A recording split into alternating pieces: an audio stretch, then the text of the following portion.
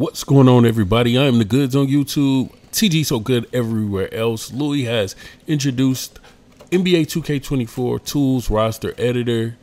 Um, it's got a lot of looks like a lot of enhancements over last year. So, all right. So first thing first, you want to make sure you got the correct version of NBA 2K24 that's going to work with the hook and everything like that. Because the hook, you're going to use that to um, be able to take files from the game and then modify them or mod them or just flat out use mods even if you don't take any files from the game. So make sure you got the right version of the game. Uh, everything is trying to come up for me on Steam.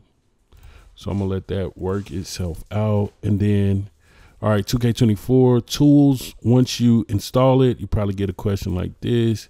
Just want to click yes and then the tool should come up and appear.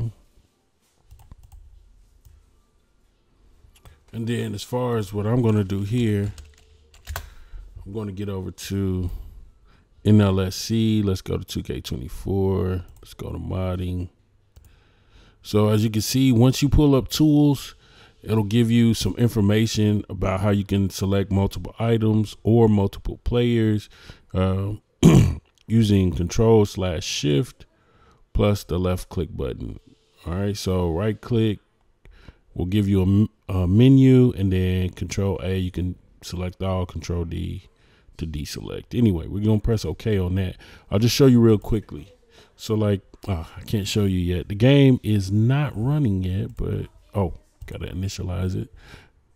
So once the game comes up, um, I already have, I don't have the newest version of the hook, but I don't even think I need it. So I'm just going to leave it like that. I'll probably get the newer version of the hook later. But anyway, I have a version of the hook. Now I got the game up. Let me see. I actually want to wait.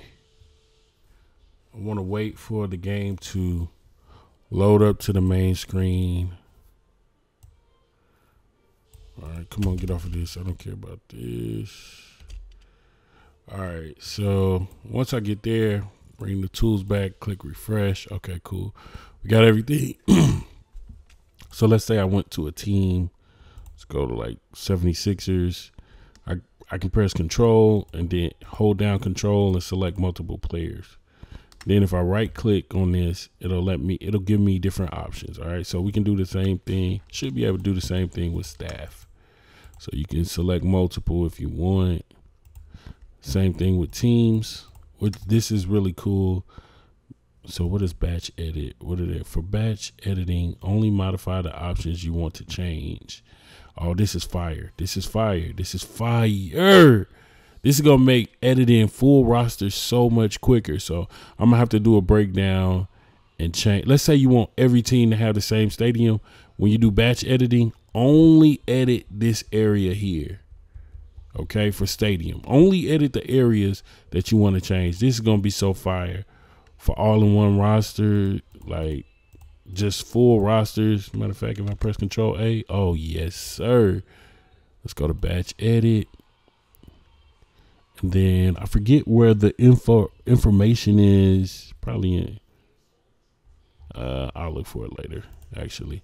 But I wanted to see if I could like just remove every team's warm ups. Let's go to batch edit again. Yeah, I think I can. I could just make every team have this is their warm ups. That would be fire. Okay. Anyway, though. So this this is gonna be fire. This is gonna be fire. It's gonna make roster editing so much easier, so much quicker. Um, and we've lost a lot of time with 2K24 just being how it is. Shoes, you can look at different shoes. I don't think you can really do anything with the shoes here. Yeah, it's like you can't edit the shoes, so it really doesn't matter. and then you got a few other options. Anyway, I'm gonna keep this video short and sweet. I'll make more NBA 2K tool videos. I Had to go ahead and make this one just to get it out. You guys may see me talk about the same subject more than once when it comes to NBA 2K tools over the next couple of days. I'm just going to try to put out whatever I can in regards to uh, information about this tool and how to use it uh, and the new functionality that it has. Looks like it's going to make roster editing much better.